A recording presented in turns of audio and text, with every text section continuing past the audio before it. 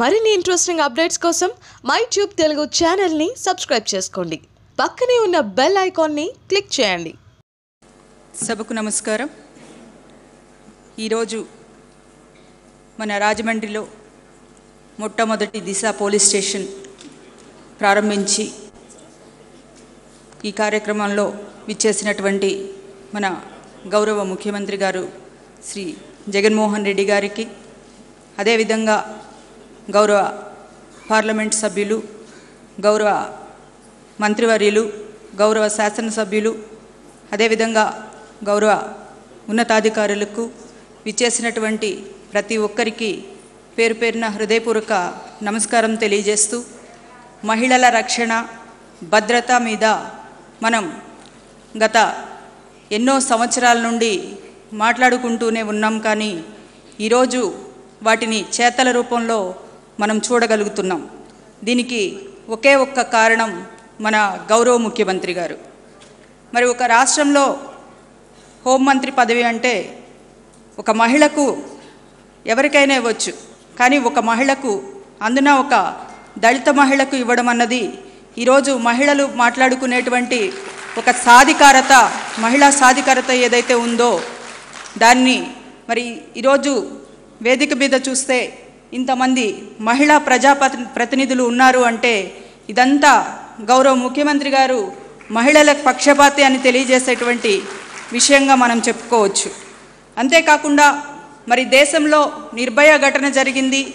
ఇవాళకి కూడా ఏ విధంగా ఆ చ అది ఆ శిక్షలు అమలుపరచడానికి జరుగుతున్నటువంటి ఏదైతే ఇన్ని రోజులు కూడా శిక్ష అమలుపరచకపోవడం అన్నది మనం చూస్తూ ఉంటున్నాం. మరి ఇలాంటి సంఘటనలు మళ్ళీ తలెత్తకూడదు. ముందు జాగ్రత్తలు ఉండాలి. ఆ ఆప మహిళకు ఆపద జరిగితే సత్వర న్యాయం జరగాలి అని చెప్పి మరి ఈరోజు దిశ ఘటన జరిగింది.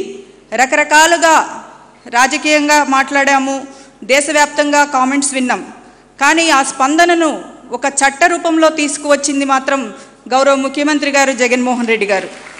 ఏదో తెలంగాణలో జరిగింది కదా అని మనకేంటి సంబంధం అని ఏదో ఒక ట్విట్టర్లో ఒక పోస్ట్ పెట్టో లేదో ఒక స్పీచ్ ఇచ్చో వదిలేయకుండా మరి ఈరోజు మన రాష్ట్రంలో మహిళల భద్రత ఏ విధంగా ఉండాలి అని చెప్పి ఆలోచించి ఈరోజు దిశ చట్టాన్ని చేయడం అన్నది నిజంగా చాలా గొప్ప విషయం.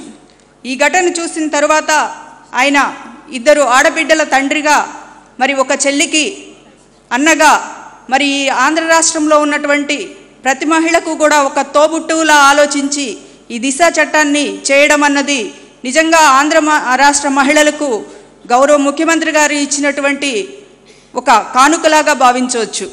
అంతేకాకుండా ఏ ఆడపడుచుకు కూడా ఒక ఆపద జరగ రాకూడదని చెప్పేసి విధివశాత్తు ఏదైనా ప్రమాదం జరిగితే ఆ చర్యలు ఎంత తీవ్రంగా ఉండాలి అని ఆలోచించి ఈ సమాజానికి ఒక సంకేతం ఇచ్చేలాంటి చర్యలు తీసుకోవడం జరిగింది.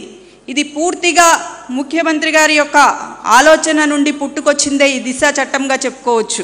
ఎందుకంటే కేవలం చట్టం చేసి ఆగిపోకుండా నేరాలు జరిగిన వారికి ఎటువంటి శిక్షలు విధించాలి అనే దానికి కూడా దాన్ని సమగ్రంగా ఈ చట్టంలో రూపొందించడం జరిగింది.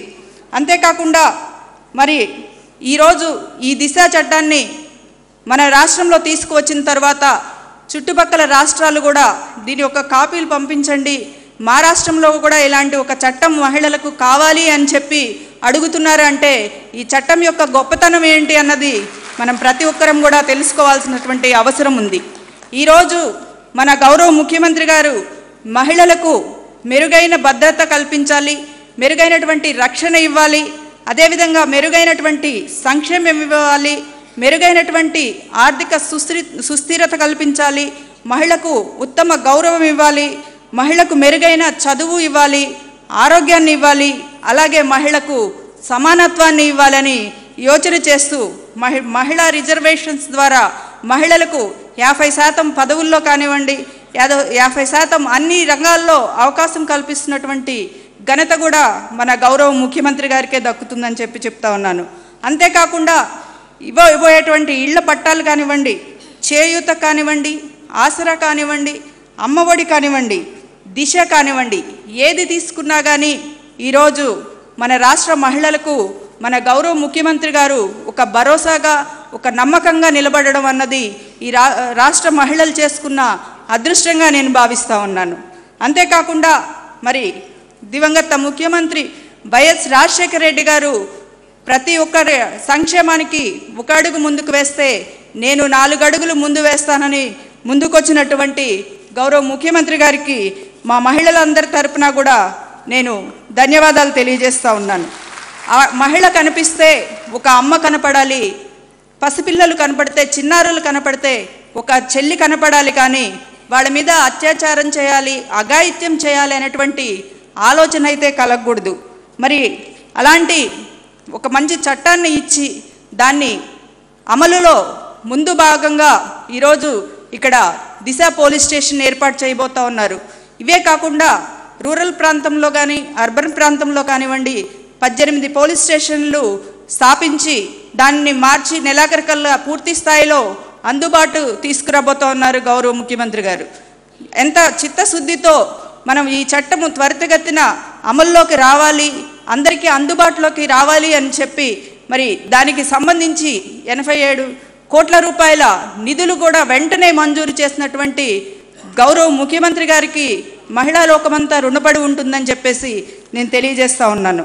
టెక్నాలజీ పరంగా కూడా ఆంధ్ర పోలీసులు ముందంజలో ఉన్నారు. భద్రతలో ఎక్కడ రాజీ పడకుండా మనము ఇప్పుడే చూసాము మనకు ఒక యాప్ నొక్కగానే వెంటనే వచ్చి అటెండ్ అవ్వడం అన్నది ఇది సామాన్యమైనటువంటి విషయం కాదు. మరి ఇలాంటి సేవలు మనకు త్వరలో మహిళలకు అందుబాటులోకి రావడం అన్నది మనకు నిజంగా చాలా గర్వించినటువంటి విషయం. ప్రతి ఒక్క మహిళకు కూడా ఈ చట్టం పట్ల పూర్తి స్థాయిలో అవగాహన ఉండాలి అంతేకాకుండా కేవలం మహిళలకే కాకుండా పురుషులకు కూడా ఈ చట్టాల పట్ల అవగాహన ఉండాల్సినటువంటి అవసరం ఉంది. ఎందుకంటే మనం మహిళల పట్ల ఏ అఘాయిత్యం చేస్తే ఏ శిక్ష పడుతుంది ఎన్ని రోజులు మనం జైలు ఊచలు లెక్క పెట్టాలి అనే విషయం ఖచ్చితంగా ప్రతి ఒక్క మగవాళ్ళు కూడా తెలుసుకోవాల్సినటువంటి అవసరం ఉందని నేను భావిస్తూ ఉన్నాను. మరి అలాంటి ఒక మహత్తరమైనటువంటి ఒక దిశ చట్టాన్ని ఈరోజు ఆంధ్ర మహిళలకు కానుకగా ఇచ్చినటువంటి మా గౌరవ ముఖ్యమంత్రి గారికి మహిళా లోకం అందరి తరపున ధన్యవాదాలు తెలియజేస్తూ సెలవు.